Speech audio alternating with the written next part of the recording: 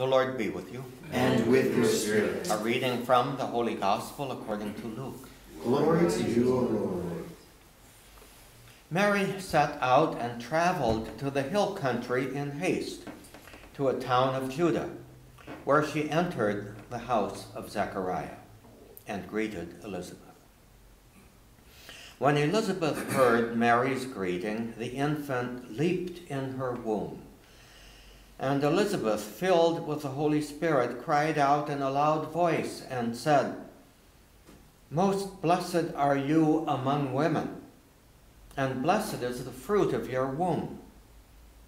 And how does this happen to me, that the mother of my Lord should come to me?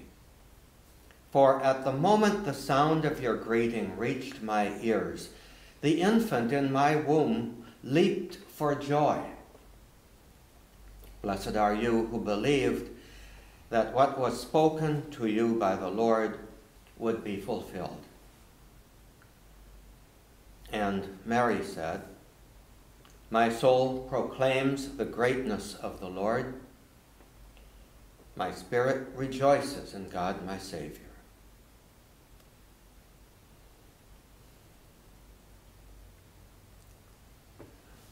The Gospel of the Lord. Praise you, Lord Jesus Christ.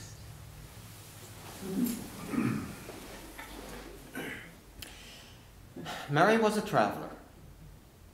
And, uh, you know, we think of her as a very simple, humble, uh, impoverished, perhaps, um, uh, young woman in Nazareth. And yet we know of her journey to Bethlehem uh, with Joseph. But what we don't often advert to is immediately after the Annunciation, she's uh, uh, taking a two, at least, possibly three day journey through what was occasionally at least, hostile territory, crossing uh, possibly a couple of borders to go down to Ein which is near Jerusalem, from Nazareth. Um, that, we would say, was no little journey uh, to go down to visit, or to go up actually, to the hill country in Judah. Uh, to go up to that area from Nazareth. Uh, she may very well have faced hostility and social discrimination because to do that she had to go through or at least skirt around uh, Samaritan territory. And the Roman occupiers were always on guard. She could not have traveled alone. Uh, that would simply have been an impossibility. She would have to join some kind of a group of travelers, a group of pilgrims.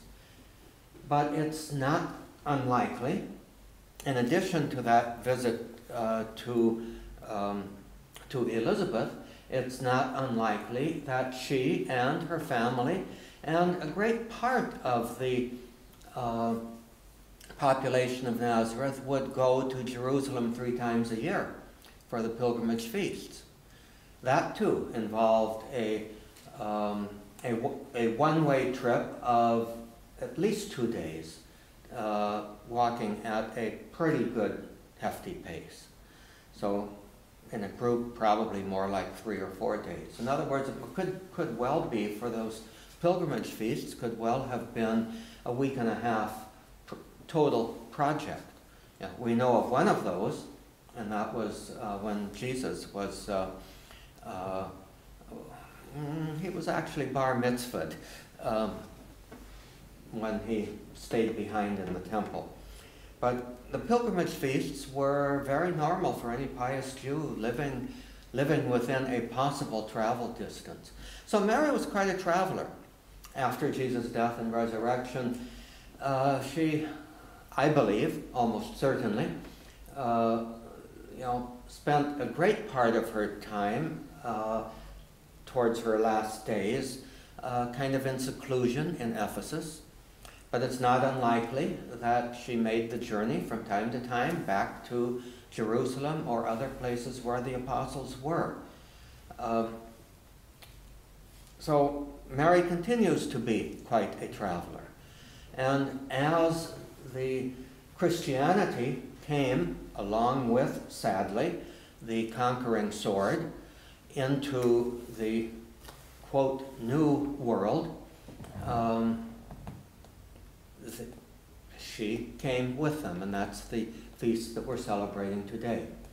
She didn't appear officially to anybody. She was with the poor. She was with those who were being oppressed. And she gave them hope and continues to give them hope. And so, as we celebrate this day, we need to realize that um, the kingdom of God does not have borders nor walls. The kingdom of man does.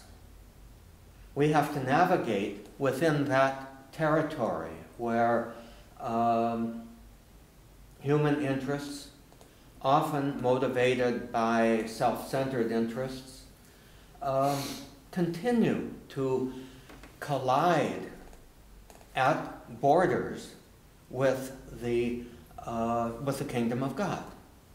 And if we are dedicated to the kingdom of God, our dedication has to be no matter what our situation, even our political interests might be, our situation, our commitment has to be to discover ways to erase those borders, to overcome those borders, to transcend those borders. It's not necessarily a matter of knocking down walls.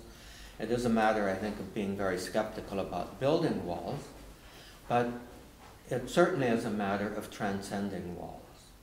And so, very often, when human interests are building those walls, our job as faithful children of God and faithful children of Mary is to pay attention to the other side, to uh, uh, be one in heart, one in spirit, and one in witness to the human dignity of those who are often at the victim of uh, human and um, uh, self interest, shall we say.